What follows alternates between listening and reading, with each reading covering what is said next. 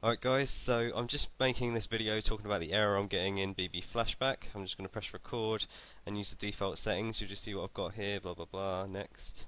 Recording sound, as you can see it's got the sound, and 22.5 MP3 compression, next. Won't need a webcam, next. GDI, it's fine, next, next. Finish. And yeah, won't show that message again. So, I'm going to start full screen recording in 3, 2, 1.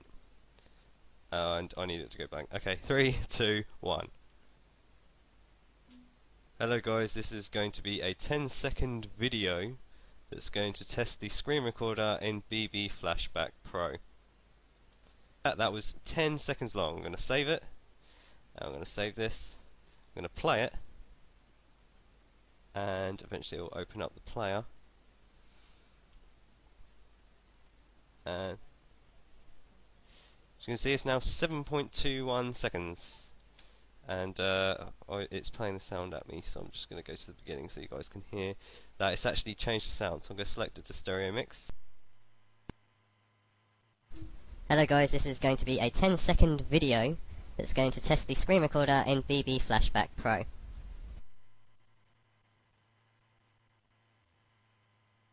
Yeah, so what the hell happened there, I have no idea.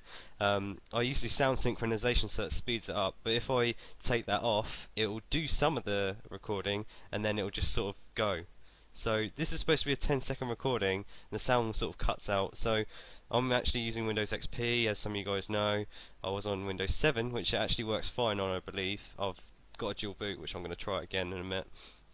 But yeah, that's what's happening.